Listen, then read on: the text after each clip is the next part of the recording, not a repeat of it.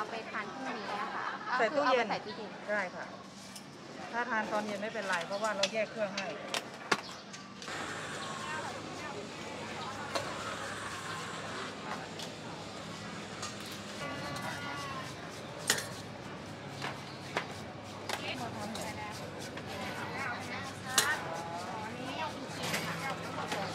แม่แม่เอาเกี๊ยวสีห่อ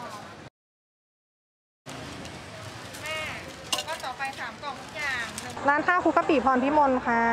สูตรเหรอคะ สูตรคิดเองหมดเลย คุณแม่เป็นคนคิด แม่เขาชอบดู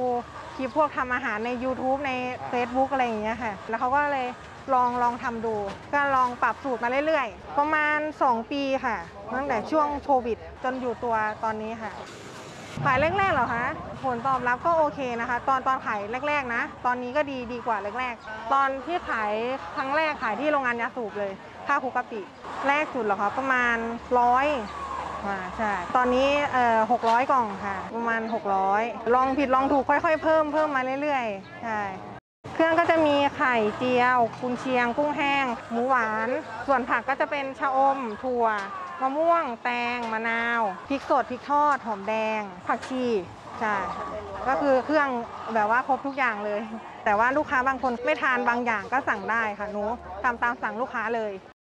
คุกเหรอคะ มันจะมี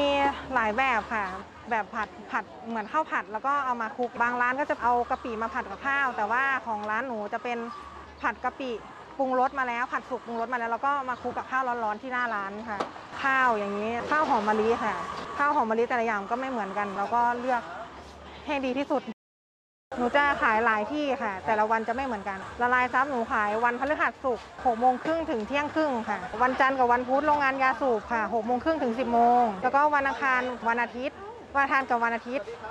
หกโมงครึ่งถึง 10 โมงขายอยู่วัดแขกค่ะ สีลมซอย 20ตลาดไหนลูกค้าเยอะก็จะเป็นละลายซับค่ะ ลูกค้าเยอะเพราะว่ามีสำนักงานเยอะ ไม่อยากรอนานโทรสั่งล่วงหน้าได้ ข้าวคุกกะปิพรพิมลนะคะ เบอร์โทร 0944131997 ค่ะ สามารถสั่งล่วงหน้าได้ บางคนก็โทรสั่งล่วงหน้า 2 วันเลย บางคนก็สั่งตอนเช้าแล้วก็มาเอาตอนเที่ยงเนี้ยค่ะ ถ้าสั่งเยอะๆ ถ้าเป็นแบบยอดร้อยกล่องขึ้น สั่งล่วงหน้าประมาณ 3 วันค่ะ มีบริการทำข้าวกล่องนะคะ ประชุมสัมมนาสามารถสั่งได้ค่ะ